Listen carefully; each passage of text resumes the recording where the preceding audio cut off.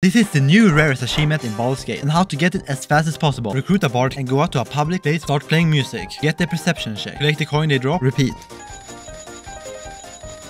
Subscribe for more.